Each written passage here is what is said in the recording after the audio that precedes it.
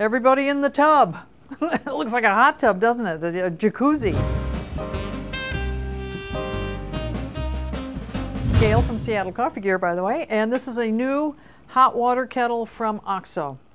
And it's called Clarity, and I can see why. It's a 60 ounce uh, container here, holds 60 ounces. Came up to a boil, we were just testing it in seven and a half minutes, and man, that was a rolling boil, and then shuts itself off automatically. This is the switch that turns it on.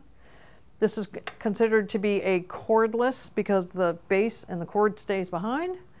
It has a nice soft touch handle and a slow open lid, which is kind of nice. Where this uh, spout is up in here, on the inside, there's a kind of a, a, metal filter. It's not something you change out, but there's a filter up in there in case there's any particulate.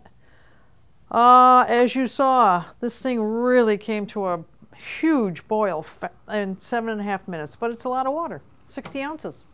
That's a lot of cups of tea. That's a lot of instant coffee. No, no instant coffee. So there it is. Clarity by OXO. Check it out on our webpage. We'll have it coming soon. Uh, if you like this video, give us a thumbs up. And happy boiling.